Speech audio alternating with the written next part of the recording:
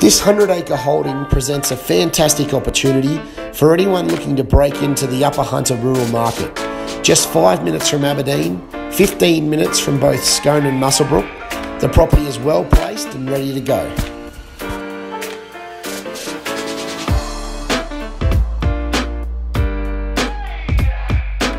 The comfortable three bedroom home boasts amazing views out over the farm to the surrounding hills.